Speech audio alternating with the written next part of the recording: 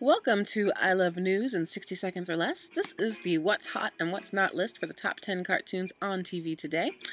Top 10 best cartoons on TV right now in order of best to least I'm sorry, in order of least to best are, in my opinion, 10, The Simpsons, 9, Amazing World of Gumball, 8, Aqua Teen Hunger Force, 7, Regular Show, 6, Archer, 5, Gravity Falls, 4, Cleveland Show, 3, Rugrats, 2, South Park, and 1, Adventure Time, because nothing beats that show.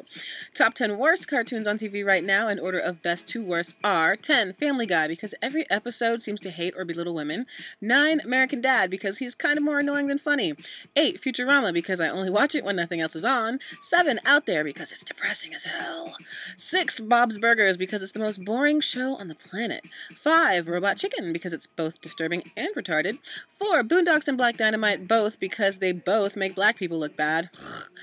like, we need more of that.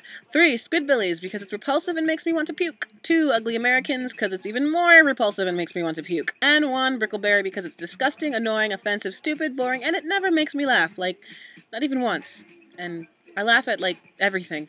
so the honorable mention for Hot List Award goes to King of the Hill. The Should Never Have Been Cancelled Award goes to Allen Gregory. And the Best Please Bring Back Award goes to Real Adventures of Jonny Quest. If I forgot or left out any animated shows or you have any of your own list to list or share, please send me your video responses and comments, and I look forward to hearing from you.